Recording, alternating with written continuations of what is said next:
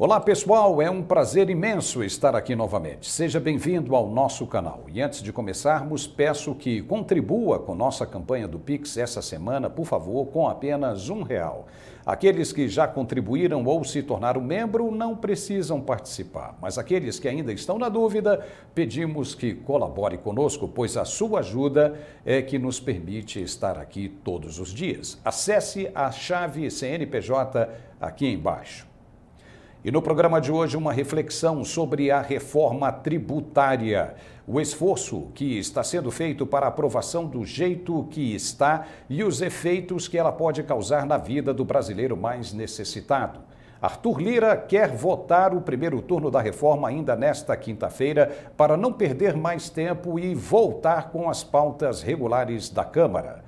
Presidente do Banco do BRICS ataca governo americano dizendo que o país usa o dólar para oprimir economias emergentes.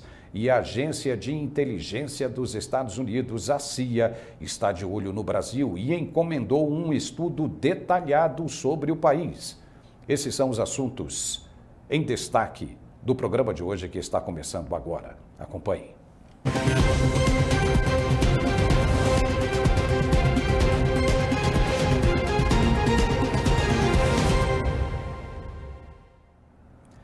Reforma tributária, um porco espinho que está incomodando muita gente. O governo tem pressa em aprovar o texto na Câmara como está e quanto mais não se conheça do conteúdo, melhor. Por isso, o presidente da Casa, Arthur Lira, jogando no time do governo, quer que a proposta seja votada com urgência para não dar tempo de haver discussões sobre o assunto. Porque se houver, ela não vai passar de jeito nenhum. Estados e municípios alegam que serão os maiores prejudicados, pois a unificação dos impostos que cabem a esses setores passaria para o controle exclusivo da União, ou seja, o governo é quem decidirá para onde vai e quanto cada estado e município pode receber. Ou seja, estados como Santa Catarina ou até mesmo São Paulo, que são dois dos maiores produtores e arrecadadores de impostos do país, ficariam à mercê da boa vontade do governo. Os recursos arrecadados, por exemplo, poderiam seguir direto para estados que não produzem absolutamente nada e que acumulam dívidas de ICMS, como é o caso do Maranhão, com mais de 600 milhões de reais pendentes com a União e que foram suspensos pelo ministro Alexandre de Moraes no ano passado. Então, nesse processo de redistribuição, estados produtores trabalhariam para os que não trabalham para gerar recursos. E como ficaria a situação dos que produzem e precisam consumir? A resposta é simples: ficariam mais pobres. Isso sem falar do poder político que a União exerceria sobre quem desejasse. Quer mais um exemplo? Vamos lá. Tarcísio de Freitas está fazendo um bom governo e desponta, mesmo que ainda não oficialmente, como um potencial candidato ao Palácio do Planalto. O estado dele tem dinheiro para fazer de São Paulo um outro Brasil que deu certo. Isso incomoda quem tem projetos de poder eterno. Então se retira os recursos da região e o estado sofre Consequentemente, a imagem do governador também. Aí é só criar as narrativas corretas que o resultado esperado aparece. Alguns especialistas acreditam que a reforma pode ser a saída da redistribuição de renda e condições mais favoráveis para os estados mais necessitados ou inteiramente falidos. De novo, o dinheiro produzido pelo Sul e Sudeste serviria para bancar o Norte e o Nordeste, ao invés de incentivar a produção nessas regiões com incentivos fiscais que atrairiam investimentos estrangeiros e gerariam economia e criação de empregos e mais impostos. Não tem como os governadores e prefeitos do Sul e Sudeste aceitarem essa proposta do jeito que está. Apostar que a longo prazo todos irão ganhar é um tiro no escuro, pois os estados beneficiados podem continuar exatamente como estão hoje e sugando e sugando o que é produzido pelo restante do país, sem contar que a desonestidade com os recursos públicos poderá prevalecer ainda mais, já que a região, como já foi apontada por estudo do próprio IBGE, é a campeã brasileira de irregularidades com o erário.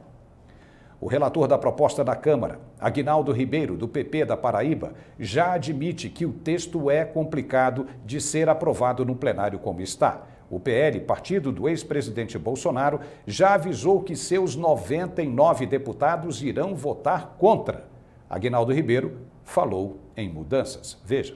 Não existe nem, nem nada descartado, nem nada definido. Esse é o momento a gente está dialogando para construir as melhores saídas.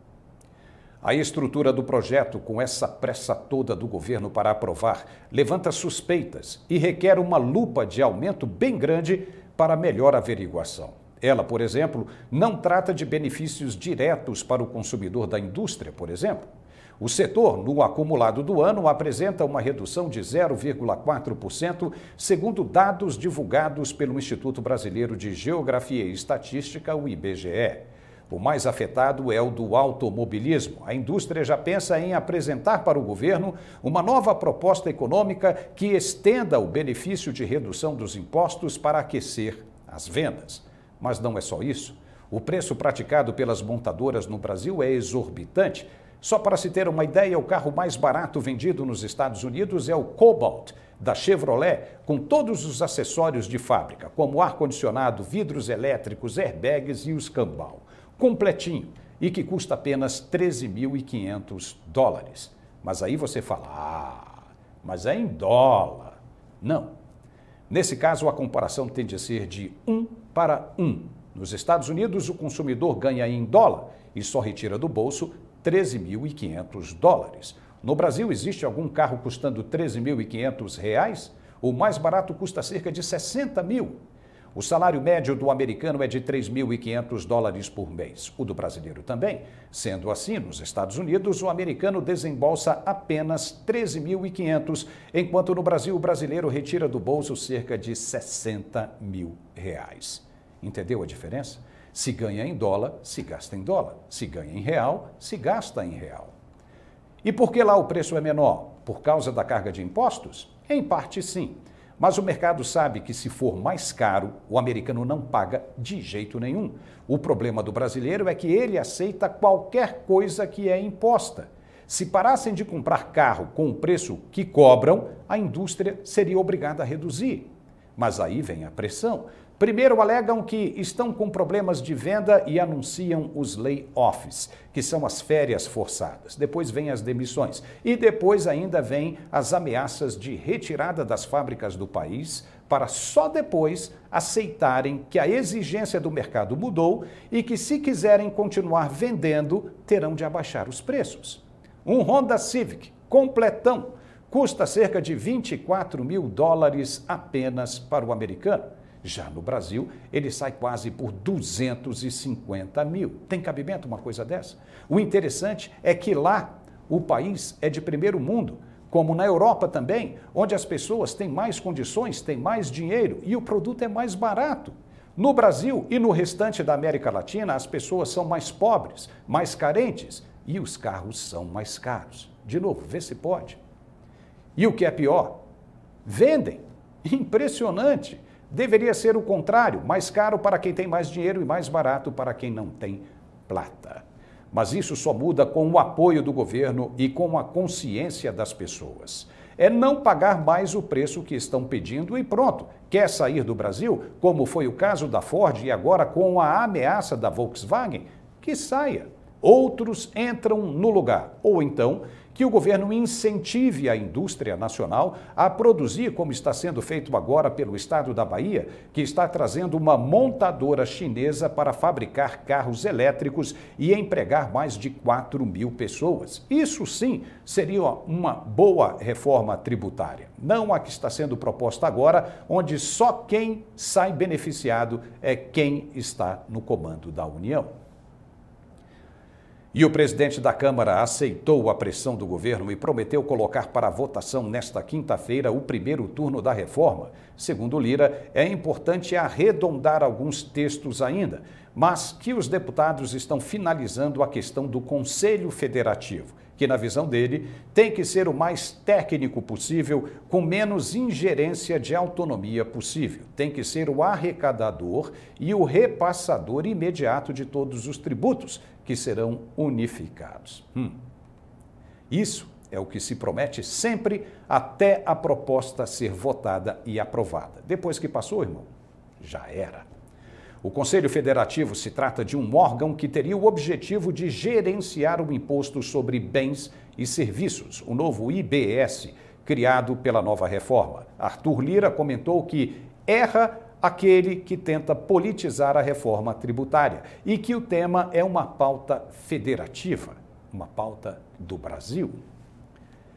E ainda falando de economia, a presidente do Banco do BRICS, Dilma Rousseff, que você conhece muito bem, seguiu a linha de Lula e cometeu uma escorregada que pode ser extremamente perigosa para o destino das transações comerciais brasileiras de agora em diante. Ela acusou os Estados Unidos de usarem o dólar como uma arma geopolítica e voltou a defender o surgimento de uma moeda como a da China, por exemplo, que faça frente ao que chamou de opressão ao surgimento de novas potências econômicas. Dilma disse que, no contexto de conflitos geopolíticos, o dólar tem sido usado como uma arma de sanções elevando os preços de energia e alimentos e interrompendo ainda mais as cadeias de suprimentos. Ela disse isso no 11º Fórum Mundial da Paz na Universidade Tsinghua, em Pequim. E ela ainda comentou que para um país se dar bem, em outras palavras e resumidamente, tem de emitir dólar, senão fica na mão dos americanos. Acho que ela acabou encontrando e dando aí uma saída para o problema. Ou seja, aquele ditado popular: se você não consegue vencê-los, que se junte a eles. Não seria o caso, então, tendo como certo o raciocínio da ex-presidente brasileira? Muda-se a moeda de real para dólar. Quem sabe as coisas não melhoram.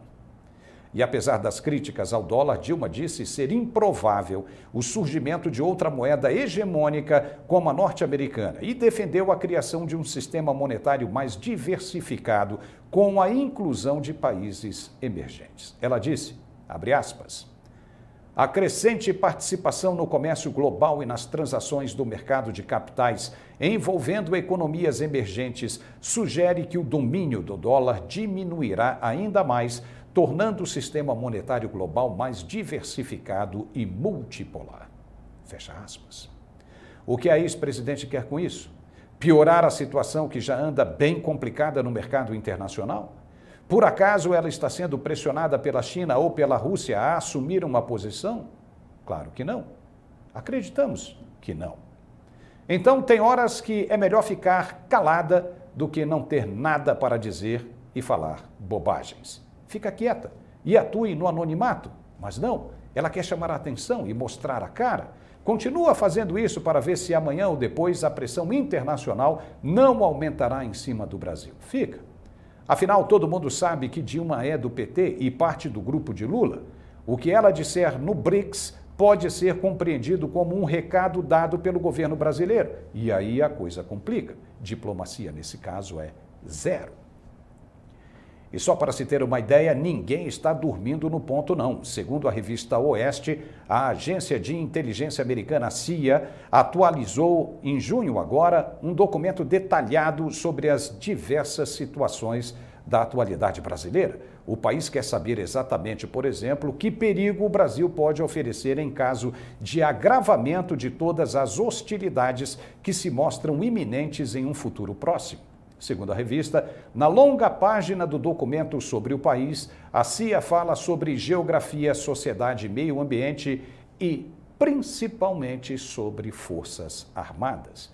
Diz que o Brasil é a segunda maior potência bélica do continente. O que seria isso, se não um levantamento prévio de, de condições adversas? A CIA sabe muito bem até quantos integrantes cada partido brasileiro tem na Câmara e no Senado. No documento se pode apreciar fotos detalhadas de uma geografia bem estudada. Os caras têm até informação de qual seria o poder de fogo do país em caso de um conflito armado. É impressionante. E a ex-presidente Dilma se mostrando a cada dia que passa de que lado quer estar quando as bordas extrapolarem os limites.